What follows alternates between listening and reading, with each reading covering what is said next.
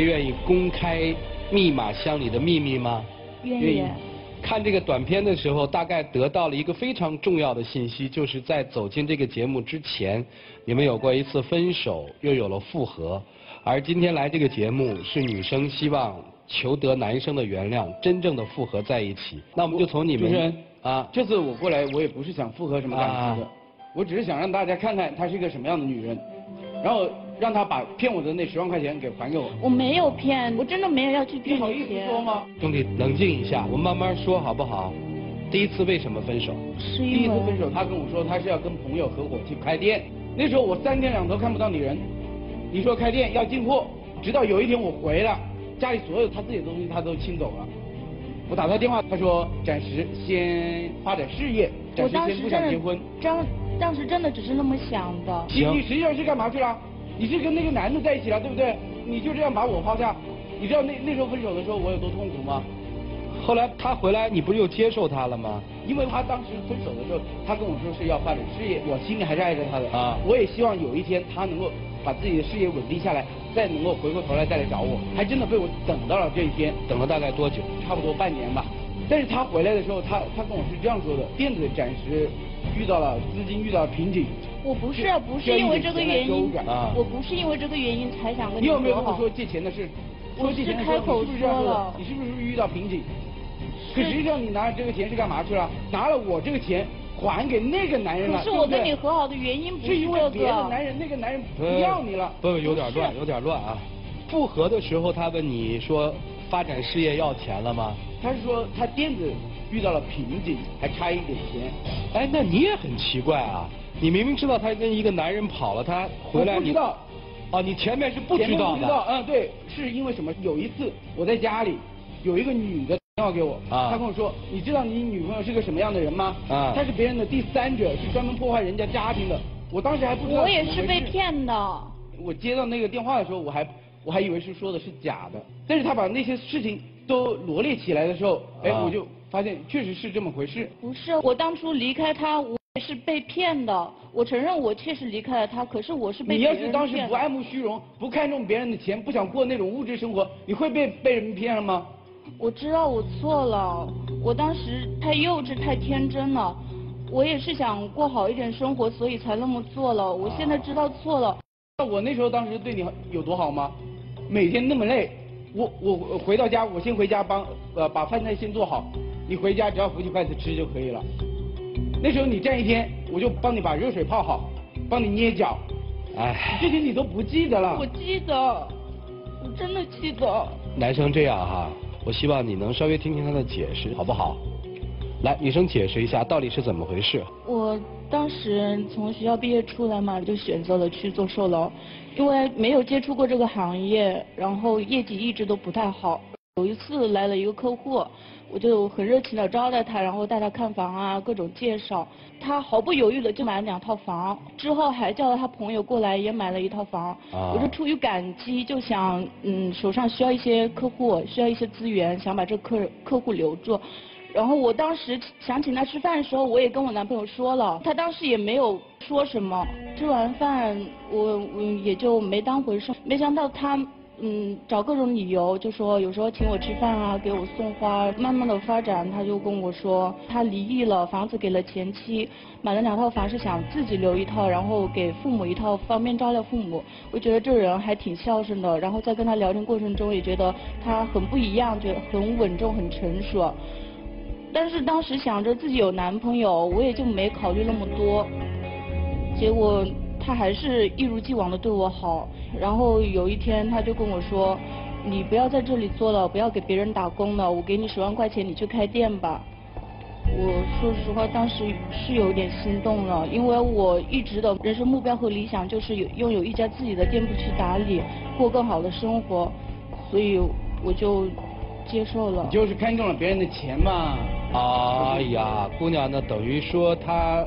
拿十万块钱买走了你一段爱情，是这个意思吗？我当时是也觉得他人还挺好的，也有一点喜欢他。那你为什么当时不跟你男朋友提出分手呢？是我自私了一点，只顾着自己感受吧。那你是在什么时候发现这个男人在骗你的呢？是后来有一次我在店里面打理店子，然后有一个女的就过来骂我，说我是第三者，我当时也懵了，然后她就是各种骂，然后就是要打我，我当时就脑袋一片空白，我心里就在想，我一定要离开这个男的，他那个老婆不依不饶的说这个垫子不能让我拿走。但是我所有的心血都投在这个店子里面，不可能就这样给他。我就说，那我把这十万块钱给还上吧。那你跟这个男人有过半年的交往，你没有发现他是一个已婚的吗？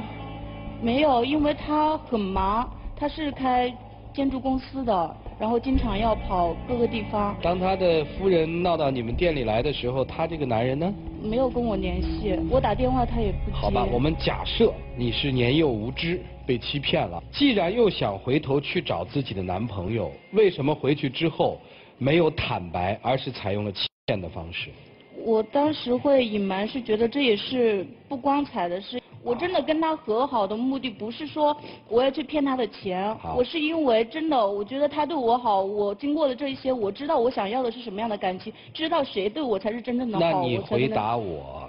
为什么从男朋友那里拿走了十万块钱？因为回来从我的角度，应该就是很内疚了，对不对？怎么还张得开这个口问他拿钱呢？我有跟朋友借，我是先有跟朋友借，然后毕竟有十万也很难凑得到，当时也想着他手上有点钱，然后我自己店子不是在周转嘛，然后这十万块我只要好好经营，钱还是还得起的。毕竟这是不光彩的事情，所以我就选择没有说。好，你还想求得他的原谅是吗？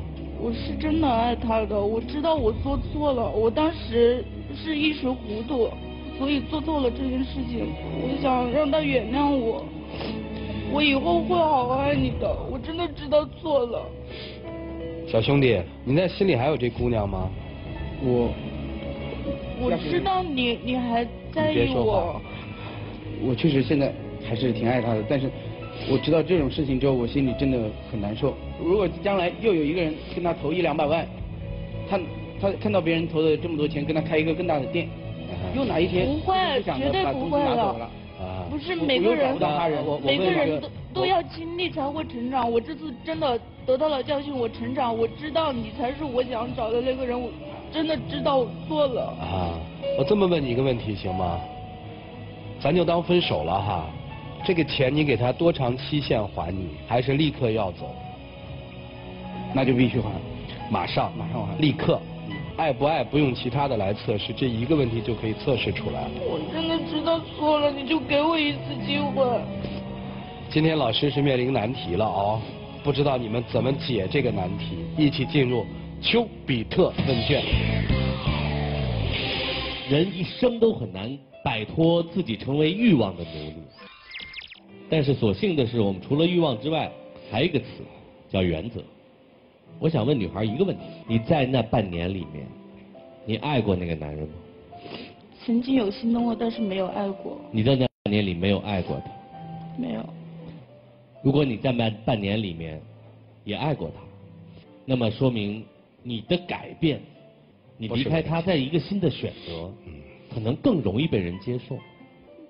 如果说你从来没爱过他，那个男人的是非我们不说，他是个不负责任的男人。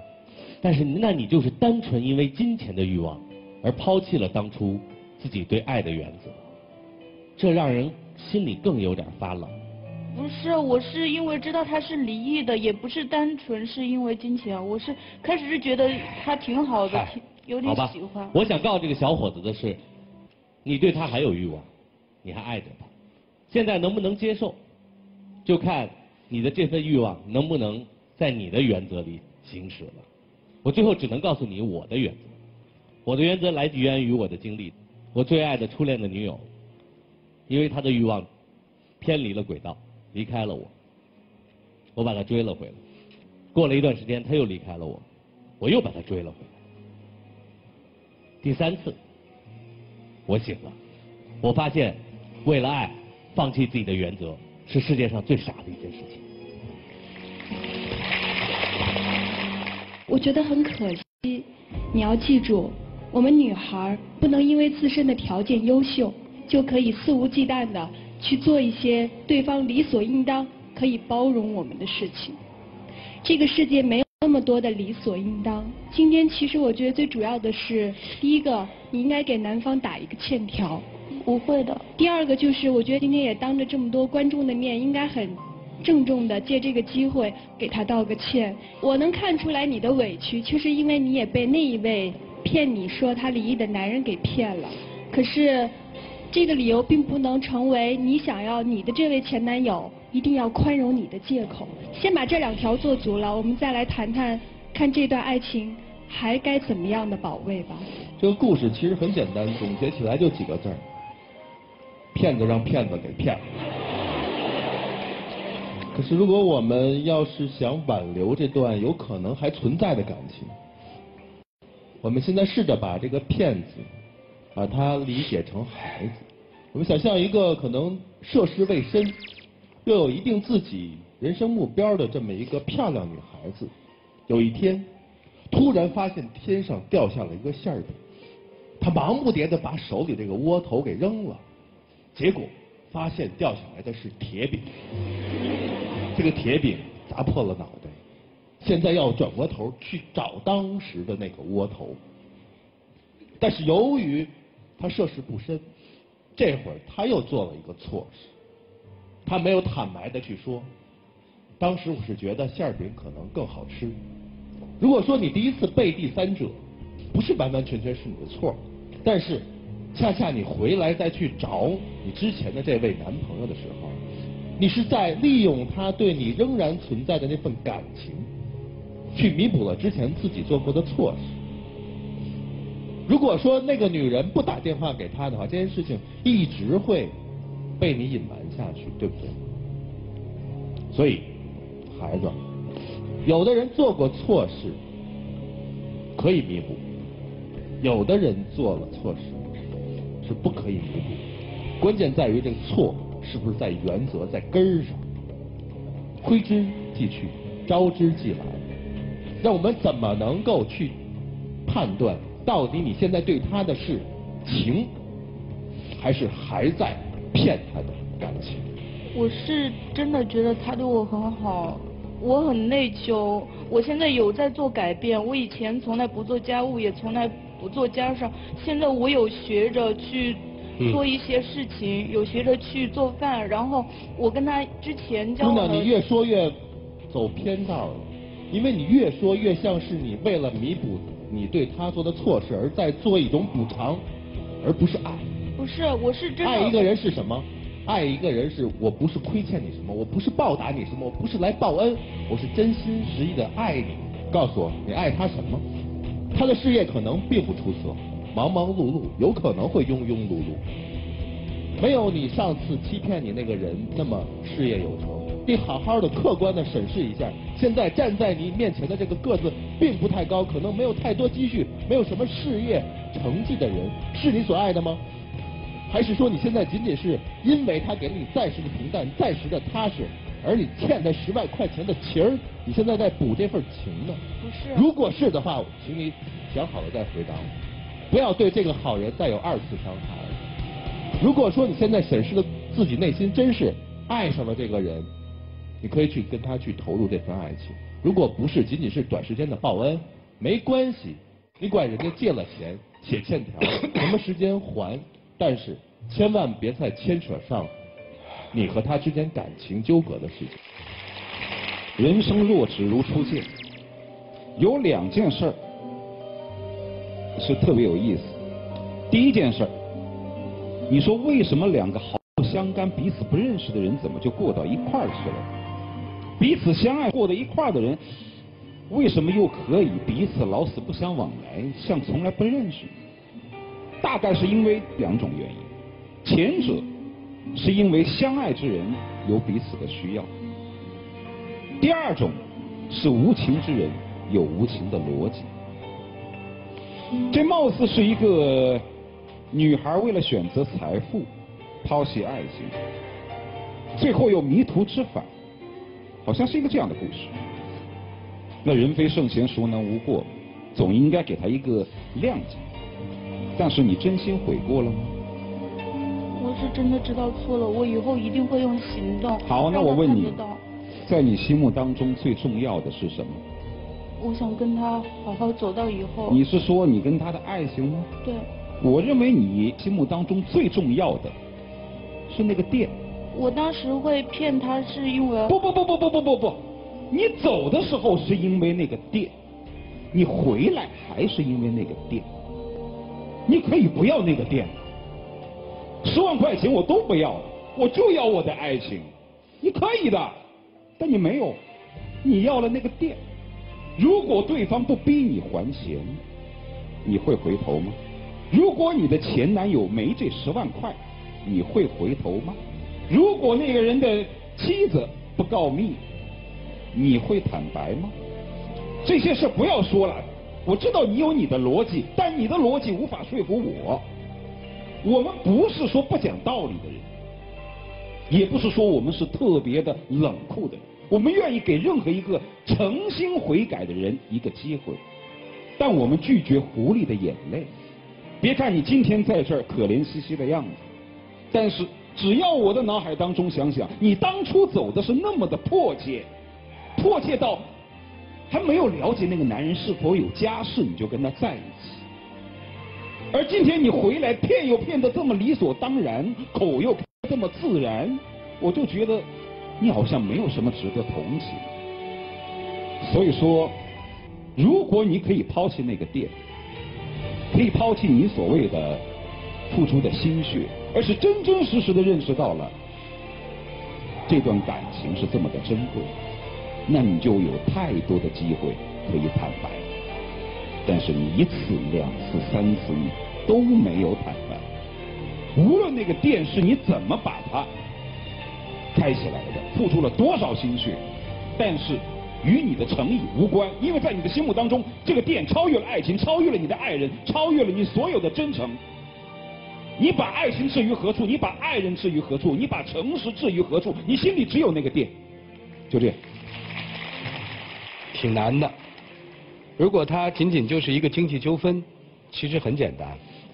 但是它这个里面恰恰有情的因素在这儿，而且被土力老师非常敏锐的抓到了这个店的问题。同样的问题我也在问，就是为什么人家闹上门之后，把店子还了再回来？不也清清白白的回来了吗？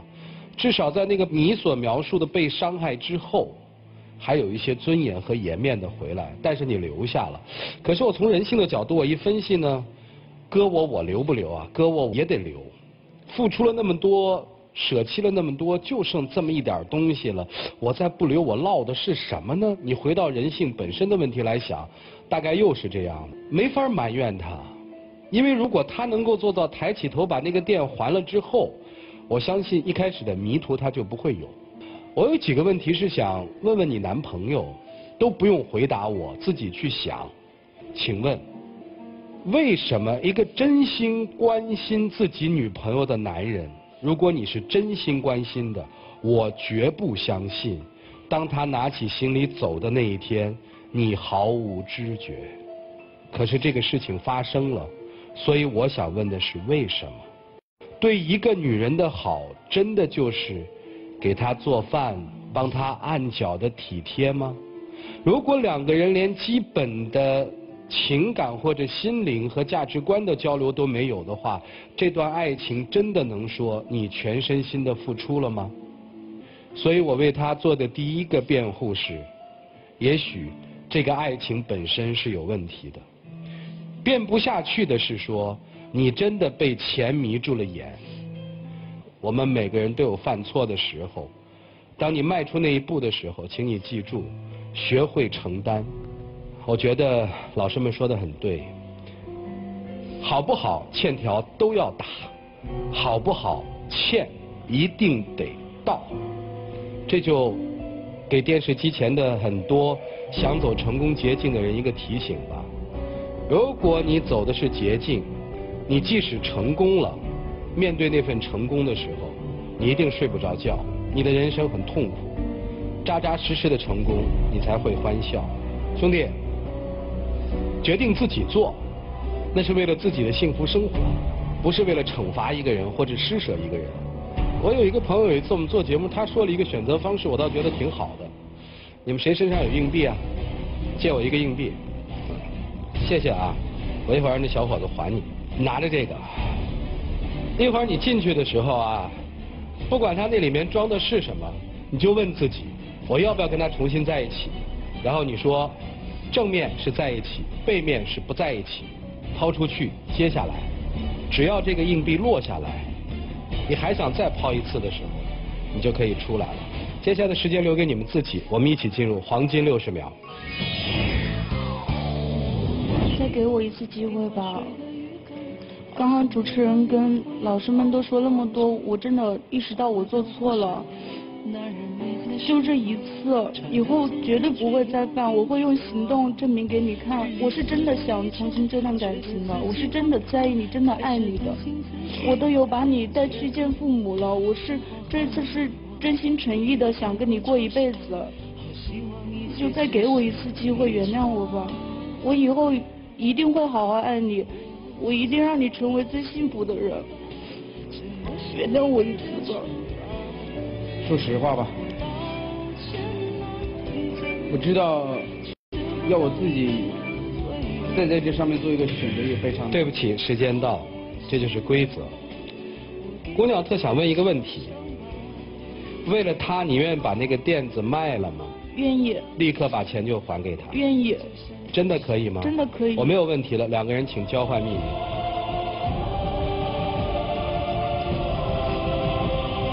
就给我一次机会吧，你给我一次机会，我真的知道错了。进去吧。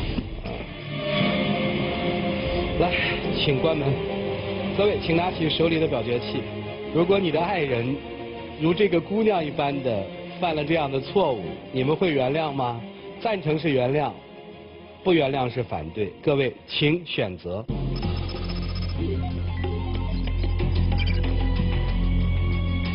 百分之八十五点七一的人选择了不原谅，百分之十四点二九的朋友选择了原谅。接下来我问第二个问题：当你听到这样一个一段经历，一个女孩的迷茫之后。你们就作为一个看客，一个旁观者，你们会从心理上来原谅这个女孩曾经犯下的错误吗？请选择。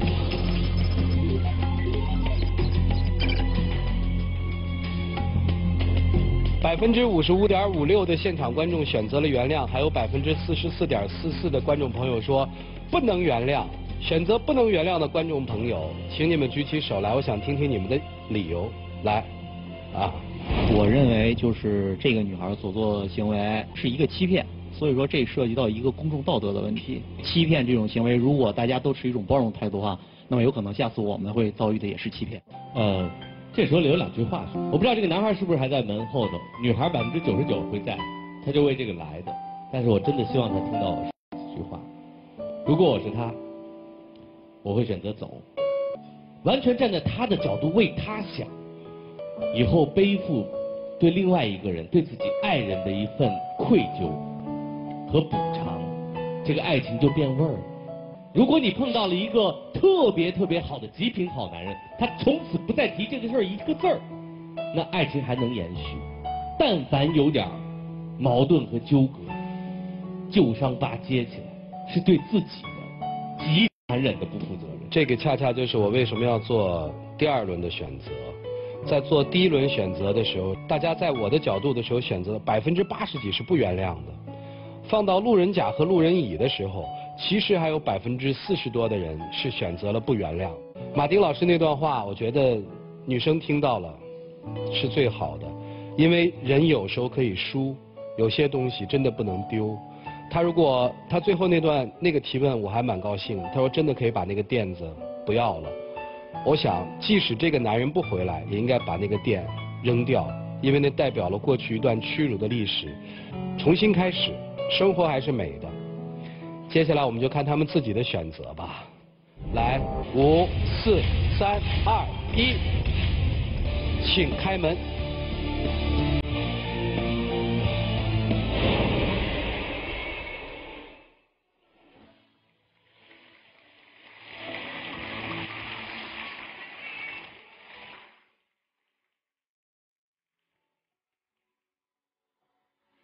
来，姑娘不哭。马丁老师说的多好，来站在这儿。也许这是个好结果。男生把女生的秘密留下来了，其实就是他希望男生再给他一个机会。我看看男生的秘密。男生的秘密是，小婷，你知道吗？其实你这次跟我和好，我已经做好了和你结婚的打算了，连戒指都准备好了。可是，啊，没事儿，姑娘，人生会摔跤，希望珍惜和珍视未来的生活。谢谢老师，谢谢主持人给我的意见，我会改。谢谢。谢谢你哈，秦辉。